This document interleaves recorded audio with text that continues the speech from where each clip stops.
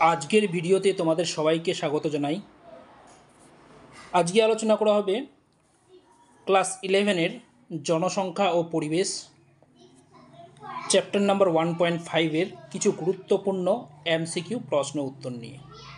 তোমাদেরকে বলে রাখি, পরিবেশ বিদ্যার সবচেয়ে গুরুত্বপূর্ণ নির্ভরযোগ্য ঠিকানা হলো এই চ্যানেল অর্থাৎ সায়েন্স টিউটর সায়েন্স টিউটরে পরিবেশবিদ্যা বিষয়ের ক্লাস ইলেভেন টুয়েলভ পাশাপাশি প্রাইমারি টেট এবং এসএলএসটি পরিবেশবিদ্যা বিষয়ে পড়ানো হয়।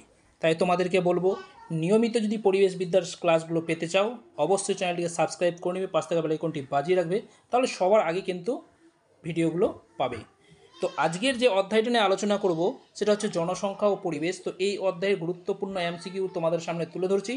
প্রতিটি প্রশ্নের উত্তর তোমরা ভালো করে বোঝার চেষ্টা করো, আর যেগুলো রাখা হয়েছে প্রয়োজনে তোমরা খাতার মধ্যে লিখে নিতে পারো। তো দেখো, প্রথম যে প্রশ্নটা রাখা হয়েছে যে পপুলেশন শব্দটির উৎপত্তি হয়েছে, পর্তুগিজ শব্দ থেকে, ল্যাটিন শব্দ থেকে, গ্রিক শব্দ থেকে, ফরাসি শব্দ থেকে, বলো সঠিক উত্তর কোনটা হবে? তোমরা যদি নিজে থেকে উত্তরগুলো পারো, অবশ্যই তোমরা কমেন্ট বক্সে কমেন্ট করে জানাবে, কটা তোমরা নিজে থেকে উত্তর করতে পেরেছ। তো সঠিক উত্তর হবে গিয়ে ল্যাটিন শব্দ। দেখো পপুলেশন শব্দটা এসেছে ল্যাটিন শব্দ থেকে।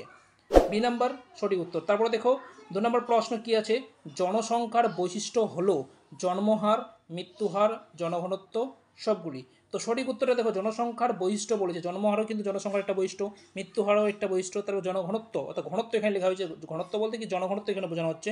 তাহলে সঠিক উত্তরটা হচ্ছে ডি নাম্বারটা। D is the right answer. Okay? Next তিন নম্বর প্রশ্ন দেখো কী আছে? ভূপৃষ্ঠের কোনো অঞ্চলে মানুষের বন্টনগত তারতম্যের সূচক হলো, দেখো, ভূপৃষ্ঠের কোনো অঞ্চলে, সেটা যে কোনো জায়গায় হতে পারে বা যে কোনো একটা অঞ্চলকে বোঝাতে পারে, মানুষের বন্টনগত তারতম্যের সূচক হলো কি? মোট জনসংখ্যা, মোট জমি, মানুষের ঘনত্ব, আর এটা হচ্ছে জন্মহার। তো দেখো, ভূপৃষ্ঠে কোনো অঞ্চলে যে মানুষের জন মানে মানুষের বন্টন বোঝাচ্ছে কোথাও বেশি, কোথাও কম, এটা বোঝাচ্ছে সেটা কার কার ক্ষেত্রে? সেটা হচ্ছে সূচকটা কি? সেটা হচ্ছে মানুষের জনঘনত্ব। অর্থাৎ জনঘনত্বের উপরে, উপরেই কিন্তু এই অঞ্চলগুলোকে ভাগ করা হয়েছে বা বন্টন করা হয়েছে। নেক্সট চার নম্বর প্রশ্ন আছে পরিযান কীভাবে ঘটে? পরিযান কীভাবে ঘটে? ইমিগ্রেশন ও রেজিস্ট্রেশনের মাধ্যমে। বি নাম্বার দেওয়া হয়েছে, প্রবাসন ও অভিবাসন। তারপরে সি রেজিস্ট্রেশন ও ইমিগ্রেশন আর ডি নাম্বার রেজিস্ট্রেশন ও ডিসকোয়ালিফিকেশন তো সঠিক উত্তরটা কি? সঠিক উত্তরটা হচ্ছে গিয়ে ইমিগ্রেশন ও রেজিস্ট্রে সরি বি নাম্বার অপশানটা সেটা কি? প্রবাসন ও অভিবাসনের মাধ্যমেই কিন্তু পরিযান ঘটে। নেক্সট পাঁচ নম্বর প্রশ্ন কী আছে দেখে নাও। নিম্নলিখিত কোন বিষয়ের উপর জৈবিক ক্ষমতা নির্ভর করে? নিম্নলিখিত কোন বিষয়ের উপর জৈবিক ক্ষমতা নির্ভর করে? এ, প্রতিকূল পরিবেশে বেঁচে থাকার ক্ষমতা, বি, জনগণ প্রজনন ক্ষমতা, সি, আত্মরক্ষা ক্ষমতা, ডি হচ্ছে সবগুলো। কোন বিষয়ের উপর জৈবিক ক্ষমতা নিয়ন্ত্রণ করে? সেটা হচ্ছে ডি নাম্বারটা, সঠিক উত্তর। কেননা দেখো, প্রতিকূল পরিবেশে বেঁচে থাকার উপর জৈবিক ক্ষমতা নির্ভর করে, প্রজনন ক্ষমতার উপর নির্ভর করে, তার আত্মরক্ষার উপর তো সেই জন্য বলা হচ্ছে কি ডি নাম্বারটা হচ্ছে সঠিক। তোমাদেরকে এই প্রসঙ্গে জানিয়ে রেখে ধরে নাও তোমাদের এই প্রশ্নটা পরীক্ষায় আসলো। এ নাম্বার অপশন অপশানটা সঠিক মনে হচ্ছে বি নাম্বারটাও মনে হচ্ছে তোমাদেরকে সি নাম্বারটা দেখার দরকার নেই। সরাসরি তোমরা চলে যাবে সবগুলিতে ওকে নেক্সট ছয় নম্বর প্রশ্ন দেখো। আমেরিকা যুক্তরাষ্ট্রে জন সংখ্যার পিরামিড কেমন হয়? আমেরিকা যুক্তরাষ্ট্রে এখানে জিজ্ঞাসা করা হয়েছে। ঘণ্টাকৃতি, পিরামি পিরামিড তারপরে হচ্ছে কলসিকৃতি কলসি আকৃতি পিরামিড, তারপরে হচ্ছে প্রস্ত ভূমিযুক্ত পিরামিড, কোনোটি নয়। তো সঠিক উত্তর হচ্ছে ঘণ্টাকৃতি সে হচ্ছে পিরামিড। ঘণ্টার মধ্যে দেখতে অনেকটা হয়, সেটা হচ্ছে গিয়ে আমেরিকা যুক্তরাষ্ট্রের ক্ষেত্রে হয়। ওকে, নেক্সট, সাত নম্বর প্রশ্ন দেখো, জাপানের জনসংখ্যা পিরামিড হয় কীরকম? ঘণ্টাকৃতি পিরামিড, কলসাকৃতি পিরামিড একটা প্রশস্ত ভূমিযুক্ত পিরামিড একটা হচ্ছে ডি কোনোটি নয়। দেখো, সঠিক উত্তর হচ্ছে প্রশস্ত ভূমিযুক্ত পিরামিড হয়, প্রশস্ত ভূমিযুক্ত পিরামিড হয়ে থাকে। এটা হচ্ছে গিয়ে জাপানের জনসংখ্যা পিরামিডের চিত্র। নেক্সট আট নম্বর প্রশ্ন কী আছে? জনসংখ্যার বিস্তার ঘটে রাজনৈতিক কারণে, সামাজিক কারণে, ভৌগোলিক কারণে, সবগুলি। দেখো, জনসংখ্যার যে বিস্তার ঘটে সেটা কিন্তু ভৌগোলিক কারণে। এই টাইপের একটা প্রশ্ন কিন্তু আগে আলোচনা করা হলো। তো জনসংখ্যার যে বিস্তার ঘটে সেটা ভৌগোলিক কারণে। দেখো, যেখানে ভৌগোলিক পরিবেশ হয়তো খারাপ বা খারাপ, সেখানে বা ভৌগোলিক পরিবেশ হয়তো কোথাও ভৌগোলিক পরিবেশ এমন আছে যেখানে পাহাড় পর্বত দেখতে পাওয়া যায়। সেখানে তো জনসংখ্যাটা কম হয়। যেখানে সমভূমি অঞ্চল বা যেখানে উর্বর মাটি পলি মাটি দেখতে পাওয়া যায়, সেই সমস্ত এলাকায় চাষবাস বেশি হয়। সেখানে কিন্তু জনঘনত্বটা একটু বেশি হয়। তাছাড়া শহরাঞ্চলে হয়। তো যে এই প্রশ্নের সঠিক উত্তর হচ্ছে ভৌগোলিক কারণেই কিন্তু জনসংখ্যার বিস্তারটা ঘটে থাকে। নিম্নলিখিত, তারপরে দেখুন নম্বর প্রশ্ন কী আছে? নিম্নলিখিত কোনটি ধনাত্মক প্রক্রিয়ার অন্তর্ভুক্ত? মিথজীবিতা, commensalism, proto proto protocooperation, আর এটা সবগুলি। দেখো নিম্ন ধনাত্মক প্রক্রিয়ার অন্তর্ভুক্ত বলেছে কমন সালিজম, দুটাই সঠিক। প্রোটোকপারেশন, এটাও সঠিক। তাহলে সঠিক উত্তর হচ্ছে ডি নাম্বারটা। D is the right answer. দশ নম্বর প্রশ্ন দেখো কি আছে? নিম্নলিখিত কোনগুলি ঋণাত্মক প্রক্রিয়ার অন্তর্ভুক্ত, ঋণাত্মক বলা হয় দেখো প্রতিযোগিতা তারপর হচ্ছে পরজীবিতা শিকার, সবগুলি কিন্তু ঋণাত্মক প্রক্রিয়ার অন্তর্ভুক্ত। তাহলে ডি নাম্বারটা হচ্ছে সঠিক উত্তর। দেখো পরের প্রশ্নগুলো আলোচনা করার আগে তোমাদেরকে জানিয়ে রাখি, এই চ্যানেলে প্রতিটা অধ্যায় বেসিস কিন্তু ক্লাসগুলো দেওয়া হয়েছে। তোমরা নিয়মিত যদি ক্লাসগুলো পেতে চাও, অবশ্যই বলো চ্যানেলটিকে সাবস্ক্রাইব করে নাও। আর এর আগের যেগুলো ক্লাস রাখা হয়েছে, তোমরা যদি না দেখে থাকো, অবশ্যই প্রতিটা ক্লাস দেখে নাও। আর যে প্রতিটা ক্লাসের যে প্রশ্ন উত্তরগুলো রাখা হয়েছে বারবার তোমরা পড়ো। আশা করি তোমরা কিন্তু ফার্স্ট সেমিস্টার পরীক্ষায় প্রতিটা প্রশ্নেই কমন পেয়ে যাবে। ওকে নেক্সট প্রশ্ন দেখো, এগারো নম্বর প্রশ্ন কী আছে? জনসংখ্যার বৃদ্ধির উপযোগী শর্তগুলি হলো, জনসংখ্যা বৃদ্ধি বলে, বোঝার চেষ্টা করো প্রশ্নটা। জনসংখ্যা বৃদ্ধির উপযোগী শর্ত কি? পর্যাপ্ত খাদ্য, রোগ প্রতিরোধ ক্ষমতা, তারপর হচ্ছে গিয়ে পর্যাপ্ত বাসস্থান, সবগুলি। তো জনসংখ্যা বৃদ্ধির ক্ষেত্রে সবগুলোই কিন্তু এখানে শর্ত। পর্যাপ্ত খাদ্য খাদ্য না থাকলে কিন্তু সেখানে সেই এলাকায় খাদ্যের অভাবে কিন্তু জনঘনত্ব কমে যায়।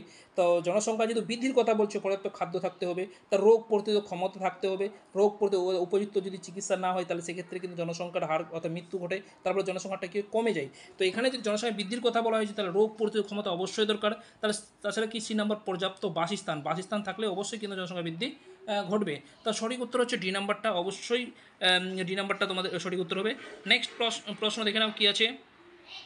যে আকৃতি বৃদ্ধি রূপে কয়টি পর্যায়ে, যে আকৃতি বৃদ্ধি রূপে কয়টি পর্যায়ে দেখা দেয়?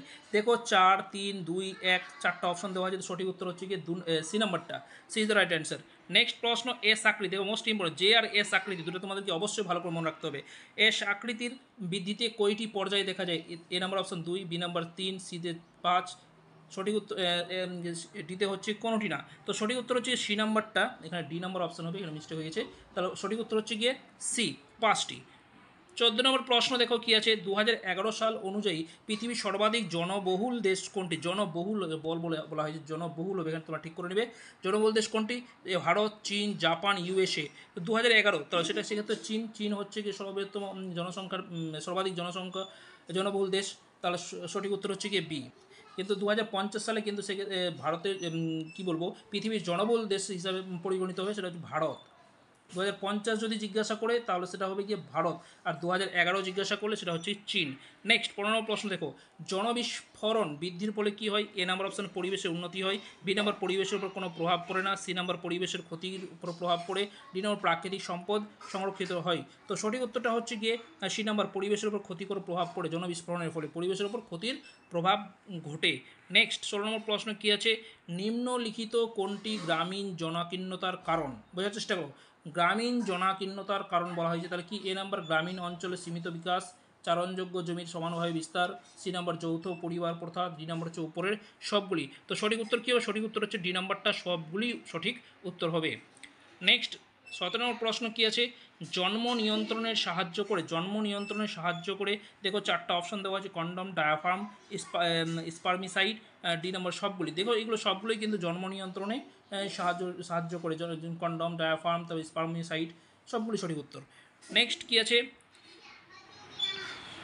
আঠারো প্রশ্ন কপার টি স্থাপন করা হয় কপার টি স্থাপন করা হয় ফ্যালোপিয়ান টিউবে জনিতে জরায়ুতে, ভাস ডিফারেন্সে। তো সঠিক উত্তরটা হবে জরায়ুতে, ক- কপার টি স্থাপন করা হয়। নেক্সট, তারপর প্রশ্ন দেখো, ভারতবর্ষে সবচেয়ে বেশি গ্রহণযোগ্য গর্ভ নিরোধক পদ্ধতি হলো ডায়াফার্ম টিউব্যাকটি টিউব্যাক্টমি, সি নাম্বার হচ্ছে আইইউ সিডিএস ডি নাম্বার হচ্ছে গর্ভ নিরোধক বড়ি। তো সঠিক উত্তর হচ্ছে আইইউ ডিএস আইইউ ডিএস হচ্ছে সবচেয়ে গ্রহণযোগ্য মানে গর্ভনিরোধক পদ্ধতি। নেক্সট প্রশ্ন দেখো, কুড়ি নম্বর কী আছে? কোনটি স্থায়ী জন্ম নিয়ন্ত্রক পদ্ধতি? কোনটি স্থায়ী বলা হয়? দেখো, বোঝার চেষ্টা করো, স্থায়ী বলা হয়েছে এখানে।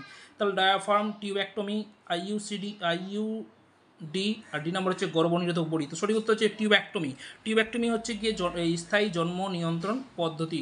অতএব B is the right answer next একুশ নম্বর প্রশ্ন কী আছে?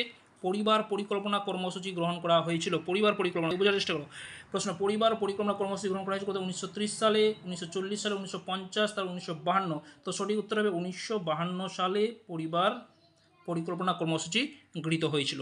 নেক্সট প্রশ্ন, জনসংখ্যার হতাশা তত্ত্বটি কার? জনসংখ্যা হতাশা তত্ত্বটি কার? ডারউইন, ল্যামার্ক, ম্যালথাস, তারপর হচ্ছে কি ম্যান্ডেল।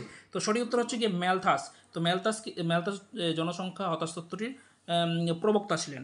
তো সঠিক উত্তর হচ্ছে গিয়ে সি। তো এই ছিল এই অধ্যায়ের কিছু গুরুত্বপূর্ণ প্রশ্ন। আশা করি তোমরা প্রত্যেককেই বুঝতে পেরেছ। দেখা হচ্ছে পরের ভিডিওতে। তখন একটি নতুন অধ্যায় নিয়ে আলোচনা করব।